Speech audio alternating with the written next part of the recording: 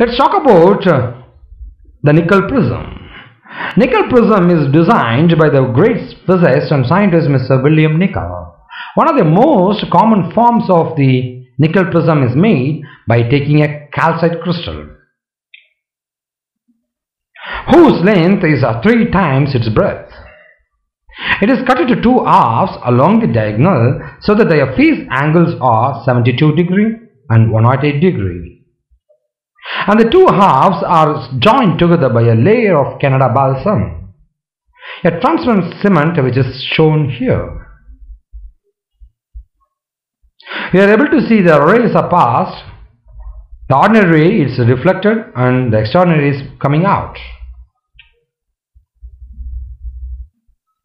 So for sodium light, the refractive index for ordinary light is 1.65H and for extraordinary light is 1.486.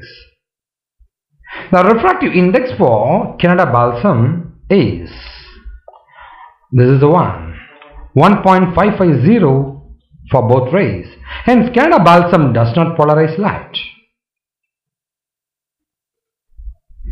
A monochromatic beam of unpolarized light is incident on the face of the Nicol prism.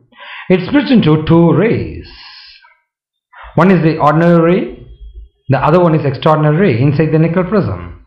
Therefore, the double refraction is taking place. The ordinary ray is totally internally reflected at the layer of Canada balsam and is prevented from emerging from the other face. The extraordinary ray alone is transmitted through the crystal which is plane polarized. The Nicol prism serves as a polarizer and also as an analyzer.